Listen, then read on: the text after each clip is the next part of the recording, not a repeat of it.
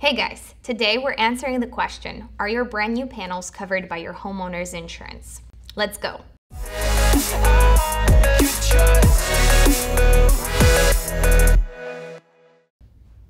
The short answer to that question is yes. Just like when you buy a home or a car, you get insurance for it. Same with your panels. All you need to do is let the insurance company know so that they can add it to your current policy.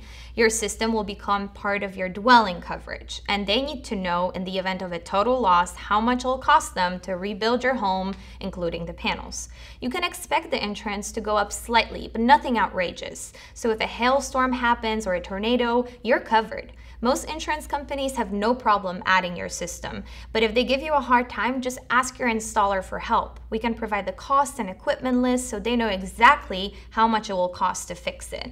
Now, if your system is leased, you don't have to worry about it since you don't own the system, but rather it's owned by a solar company that put it up on your roof.